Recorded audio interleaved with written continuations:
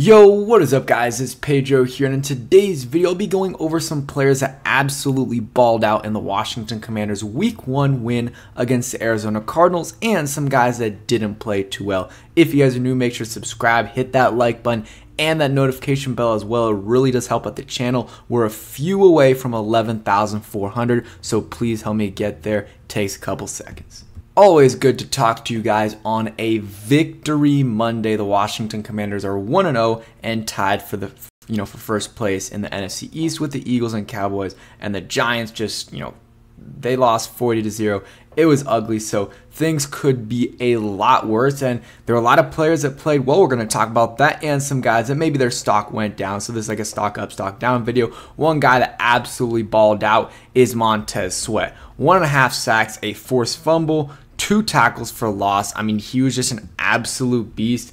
You look, I mean, basically JP Finlay did list out this, you know, stat sheet, but if we wanted to go into the full thing right here, let's see where it is. Where is it? So he had five tackles, talked about the rest, and had a QB hit as well. He was dominant. He forced a turnover, which is really, really crucial. That really helped us. That I feel like that play helped turn the momentum. So I think he was the MVP of the game on both sides of the ball, you know, and both teams. He was just a beast, and he's earning that contract like extension. Like he's trying to get that. And if he plays like he did today, he's going to get paid, and he's going to get paid by the Commanders, I think.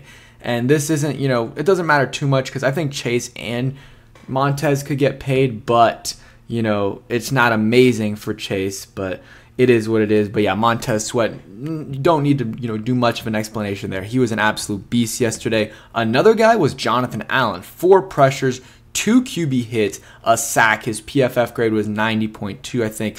Montez was like 86, and he was first in pass rush win rate amongst all defensive tackles. So he was he, he was basically the best defensive tackle this week. I mean, Jalen Carter was also really good. He had a sack and had a bunch of pressures, but Jonathan Allen was an absolute beast, good in the run game and good in you know yeah rushing the passer as well. He was an absolute beast. Got that sack in the fourth quarter, you know, to really help us and him, Payne. I mean, Payne had a good game as well. Didn't do as well as Allen and Sweat, but he also contributed, had some nice stops in the run game. And you look at Allen, you know, yeah, there's Payne. He had two tackles for loss. But you look at Allen right here. Where is he? I'm trying to find him. There we go. Three tackles, three solos, a sack, two tackles for loss, and three QB hits. Like that really is huge. I mean, I guess PFF has him with two QB hits, but that's besides the point. Our defensive line really won us this game, and the offense did end up scoring a couple touchdowns overall, but it would have been hard to win this game without the defense. It really would have been. They wouldn't have if they would have had like an average defense. The defense saved them today or yesterday, and hopefully going forward they continue to ball out, but also the offense balls out as well. But Daron Payne, Jonathan Allen, and Montez Sweat were all very good. Another, you know, kind of tandem that was pretty good was Cam Curl and Darrick Forrest. Cam Curl, he didn't make any like interceptions. He almost did in the, you know, when the Cardinals were in the red zone. He kind of dropped one, but it, it was, you know, kind of tough. He had 10 total tackles, 8 solo tackles, also had a tackle for loss. So typical Cam Curl type performance. He's playing for extension. He's not getting paid a lot of money, so he needs to do what he, you know, can do to get a contract extension, whether it's here or just another contract with another team. But he looked good. I thought Darrick Forrest, his tackling was very, very good for the Commanders. You know, he didn't miss a lot of tackles. And did he make any? He didn't really break up any passes, but I just thought his tackling was good. And then Percy Butler, I don't know if he gets a game ball. I didn't watch the film, so I can't really tell in coverage, but he gets at least a hat tip. I mean, he made that, he got beat off the line, but then recovered used his recovery speed and broke up the pass. Probably should have intercepted that one for sure. And then just made some good plays overall. I thought Percy Butler, you know, he deserves a hat tip. And I think a lot of the other guys, like on the defensive line, like Abdullah Anderson, had half a sack, a tackle for loss, QB hit. He deserves a hat tip. I think, you know, go ahead and give Casey Toohill a tap hit or a cap hit Uh, you know, he had what three tackles, a tackle for loss, and then James Smith Williams as well. He had a QB hit and three tackles. So you know, give those guys their prop. The whole defense overall played really well. I think Kendall Fuller had a good game as well. Emmanuel Forbes and Benjamin St-Juste saw like the whole secondary was pretty good. I think a lot of the times when players were getting beat, it was some of the linebackers. But I mean, look at this. They got 132 receiving yards. So it's not like they had a ton of receiving yards. So like the secondary played really, really well, and so did the D line. You know, the biggest issue is probably linebackers, and even them, they didn't play terribly. I mean, they only scored nine points on us guys. So the defense as a whole, everyone at least gets you know hat tip basically. Let's go on to another hat tip. Curtis Samuel. I mean, he had five catches for 54 yards. Also had a rush for 60 yards he or for six yards. He had a total of 60 yards on the day. Had a clutch catch in you know, at the end of the second half to really get the Commanders into field goal range, and they could have made maybe got a touchdown there, but you know they didn't have enough time, and you know they had one play, and Sam Howell threw it away, which was smart. But Curtis Samuel had a good day, and hopefully you know he continues to do that, and then Jahan and Terry have a little bit bigger days. You know the next couple days. So let's see. I'm missing one guy. Let's see. Where is it? I had the graph. Okay, there we go. Tress Way and Jeremy Reaves were absolutely amazing in this game against the Arizona Cardinals. Tress Way overall, like his punting numbers were good. They weren't like amazing. If you look at it, let's go ahead and see. I think it was five for 266. Let's see. Or six for 266, average 44.3, three inside the 20. He had a 60 yard punt and he also, though, saved us on a field goal when Camaron Cheeseman had a really bad snap that skidded off the turf. Tress Way clutches up, you know, places it down just in time, but it did mess up Joey Slye a little bit because the timing was a little off. But Joey Slye, shout out to him. He doesn't get a game ball, but he, he gets a hat tip for, you know, going four for four on the day, you know, extra points and field goals combined. He did what he had to do. He didn't make any mistakes. If he would have missed one, that would have been bad because hey, it was all you know 35 yards and within. But Tress Way had some good punts, and then that hold itself gives you a game ball. And then Jeremy Reaves, I think he had three total tackles. His coverage was outstanding. He didn't play any defensive snaps, but he played every special team snap, and he was a stud. He you know made a ton of nice tackles and let's see yeah three three total tackles two solo tackles. So he was really good on special teams. And i just think that you know he just needed a shout out for that. All pro revo for a reason. He's probably going to get back to back years with an all pro selection. And then besides that i'll give some hat tips. You know Cole Turner he didn't play amazing but he only had one target on the day or two targets and he had one catch for 17 yards. So Cole Turner had a very solid game. And then Brian Robinson gets a hat tip. You know, he wasn't very efficient, but had 60 total yards, had a touchdown as well. So he gets some props.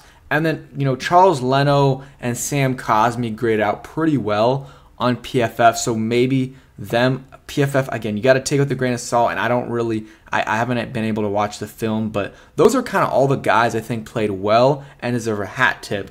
And real quick, we're going to get into the guys that stocked down or didn't play well in a second. But real quick, a word from our sponsor. And a huge shout out to BetUS for sponsoring this video. BetUS is leading online sports betting company, and the NFL season and college football season is now underway. So you can make bets on all those, you know, NFL games. There's a Monday night game today with the New York Jets and the Buffalo Bills. That's going to be a great game, and you can bet on that. You can bet on basketball, which is coming up pretty soon, baseball, which the playoffs are coming up, and then hockey. Anything you want, they have, and you can use my link in the description to get a 125% first time deposit match. So if you put in a 100, you'll get $225 back. It is a very, very good deal and it'll just gives you it gives you some money to play around with. And the commanders they're playing again against the broncos this next week if you want to go ahead and put money on that. Use my link in the description and bet responsibly. Okay so let's go over some guys that maybe their stock went a little bit down. Antonio gibson not a little bit it went down a lot. Three carries nine yards but a fumble inside our red zone or inside the red zone so can't have that can't have fumbles, and there's really no great time for fumble, but inside your own 20 or in the opposing, you know, 20 in the, you know, red zone is just not a good time at all to fumble. You lost a minimum of 3 points, probably more cuz they were rolling on that drive and they were pretty good in the red zone this game. Besides like I think the last one of the last possessions they were in the red zone but they weren't really trying to score, which was frustrating to me that Eric Bieniemy ran it on 3rd and 6. But Gibson stock definitely goes down after that performance. Logan Thomas, I honestly think he had the one of the worst performances out of anyone. I know he had his, you know, box, you know, scores, stats is fine, four catches for 43 yards, but he got targeted eight times, and every single one of those targets, he probably should have, cat, you know, caught. Maybe one of them was a little bit tough, and there was a couple actually that were like maybe difficult, but you probably should have ca- caught it. And if he would have caught seven out of eight, that would have been fine because again, you don't expect him to make every you know, somewhat difficult catch, but he should have, you know, played better. That was just too many drops at unfortunate situations. And yeah, that was just really, really frustrating. So I hope he either, I'll give him another week or two, but after that, and even if he starts playing better, I think you got to transition Cole Turner to get more targets. So maybe next week you give Logan Thomas four targets, give like two or three of his targets to Terry and then one or two to Cole Turner to give Cole Turner like three, four targets in the game. And then, you know, Brian Robinson, whatever. I think you, you got to pass a little bit more than 29 times. Rushing, how many times did they run? They ran 28 times, which is, you know, that's fine. You know, you'd like them to be a little bit more efficient. And then obviously Gibson's probably not going to get these carries. Maybe he'll go to Rodriguez or maybe they'll run it less. I don't know. Gibson stock went down. Logan Thomas as well needs to play better for sure. And those are like the main ones. Saahdiq Charles also got beat a couple times and had a penalty or two. So I would say stock down a little bit for him. John Bates had two penalties. One was ridiculous. He was just running his route and they called a penalty on him, offensive pass interference. And Logan Thomas actually made a good play on that, you know, play. But so John Bates, I don't I wouldn't say I would say slight stock down, even though one of the penalties wasn't really his fault. But besides that, didn't really see what he had to do. And then on defense, like I really don't know without watching the film. Like Jamin Davis, maybe. I, mean, I don't think I thought he played pretty well, but he, I, for some reason they only played him 65% of the snaps, which is interesting for sure. Because someone says, "Oh, like Cody Barton was playing the mic, so that's why he's playing 100%." And I get that, but like last year, Jamin Davis sometimes was the only linebacker you know, playing for Washington, he played 100% of the snaps. So definitely not stock down from him in terms of performance. I thought he played fine, but just something to monitor. And then Quan Martin, I would say stock down for him. Had a penalty on special teams, got evaluated for concussion. I don't know if he ended up with a concussion, and he played zero defensive snaps. That is like not good at all for your second round pick. I think I keep saying this. He can be a good player eventually, but for your second round pick, you expect him to play year one and be a contributor, and not just a contributor, like a starter, and at the very least a contributor. But usually you want your second round pick to start. That is starting to turn into a situation, and I said after watching him in the preseason he wasn't ready, but zero snaps, and, and they do have a you know deep safety room with Darrick Forrest, Percy Butler, Cam Curl. You even got Jeremy Reaves in there, who's probably playing over Quan Martin. But I don't know. It's a little bit concerning, and we'll see what happens there. Besides that, no real like definitive stock down. Like I thought, you know, they said Leno played fine. Wylie, I think his grade was okay. And yeah, that's really it. I might be, I mean, and you could say Sam Howell stock down a little bit considering what his expectations were. But if you like, you can't throw away plays in football. But that fumble was so bad, and besides that, he was still not great. But that play really put his stock down more than any other play. Took you know held the, onto the ball a little bit too long.